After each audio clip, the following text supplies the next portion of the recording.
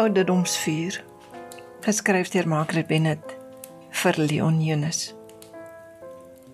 Elke vuur se brand is anders. Vlamme verskil. Die rook gaan die kant toe of daai kant toe. Kleure dans na hartelus. Stemme wat uniek praat en altyd, maar altyd gee sy raad. Terwyl as stadig en wit insluip. Verskillende murgbene word gekap. Die vier siele, die vier woorde, die trane, haat, liefde, voetspore, alles so uniek aan 'n vuur.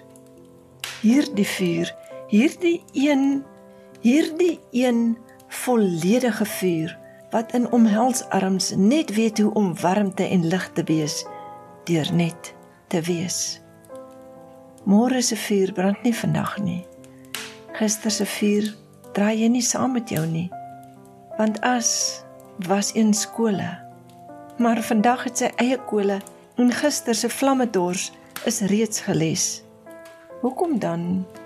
Ag vertel my, wil ek en jy wat vuur is, soveel ander goed wees? Waarom gaan haal ons môre se hitte om vandag te brand?